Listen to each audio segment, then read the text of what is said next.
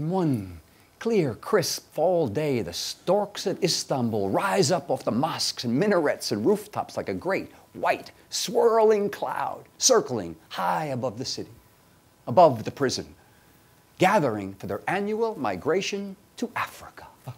Men out in the yard watching as the storks, thousands and thousands of storks, float upwards into the blue sky, higher and higher.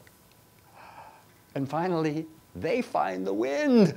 And the, the cloud streams south in a spectacular white line. And some men actually weep to see them soaring away while we're stuck here on this cold stone.